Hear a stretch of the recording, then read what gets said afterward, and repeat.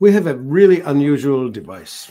We call it the water beads for lack of better name, but it's a something about the well, it comes to you in a little sack and it's in a plastic bag and it's the uh, size of a credit card and in it are these fine little elements. It could be blue it could be black like this. This one has been used for a lot long time.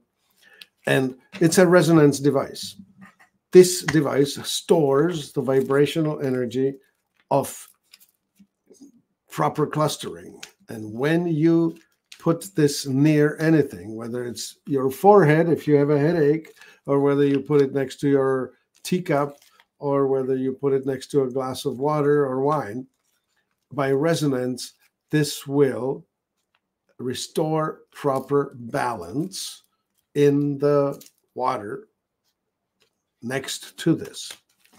And the restored balance will cause the clustering to diminish and the surface tension to drop and so on. This water will be healthier.